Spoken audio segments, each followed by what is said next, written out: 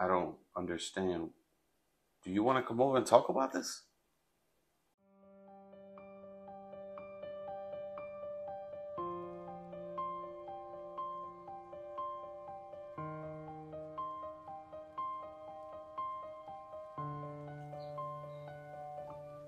Are you sure about this? So you want me to throw this all away?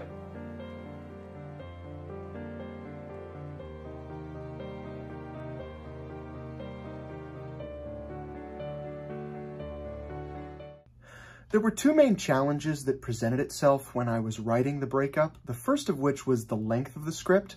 Um, in this kind of film where it's very short and it's designed to be shot on an iPhone, you don't have a lot of time to develop the character. You have to jump right into the story.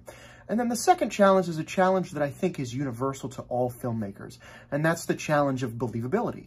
And there are two ways that you can rise to meet that challenge.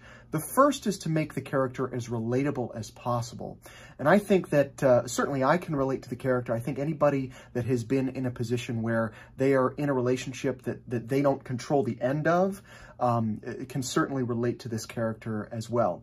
And then the second way that you can uh, meet this challenge is to make the dialogue sound as realistic as possible. Uh, the more realistic the dialogue is, the easier it will be for the actor to convey the emotions that are central to the film. And I think Matthew did a phenomenal job conveying those emotions.